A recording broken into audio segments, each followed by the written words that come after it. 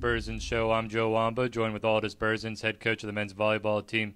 And coach, it's been a long week in the CVC for you guys, all on the road. You guys start out at Marymount, finish out at Thiel and Juniata, pulling out two of the three. First of all, talk about that uh, Marymount game that went five sets.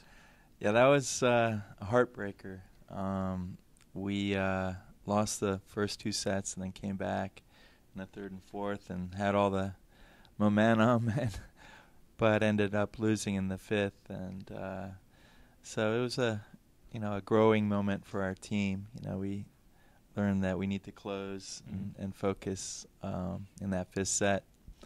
And yeah, then we didn't have a big break. We uh, went away to Juniata, uh, and they're they're ranked, and that was just a wonderful win. Mm-hmm. Um, there, the guys uh, played really well, and uh, in particular, we were missing Mike Fears, who's out with the flu at the Marymount game, and also versus Juniata, and and uh, Nick uh, Gross stepped up and played outside and did a great job. Um, and that one was in four. Yeah, we won that one in four. Thank goodness it didn't go five. Otherwise, I probably wouldn't be here. Uh, and then the Thiel match wasn't easy either. They had given trouble to a lot of teams, you know, taking a couple from uh, Marymount and um, some sets from EMU. So they were really a scrappy team and a long drive away, but we ended up winning 3 0. And so we're in a pretty good position right now um, to to keep moving forward. you talk about Nick stepping up in the boot uh, bootstraps of Michael Fears. Uh, you know, those are that's been the theme of all season. Is it's going to be the next man up. The whole team's going to get action, and they're all going to play meaningful points for you. Uh, yeah, that's um, what I what I like to see is that you know the guys that you know aren't on the floor that they're uh, pushing the guys that are in practice, and then when they get their opportunity in the match, they step up. Um, Avery uh, also uh, stepped up, uh, filling, uh, playing back row and serving for Nate Ellis, who had a got a big thumb, like a mm-hmm. Flintstone sprain um, from one of our own players in practice, and wasn't able to serve and uh, was spiking the ball and then going ah but uh, you know, Nate played through the injury, and Avery played in the back row for him.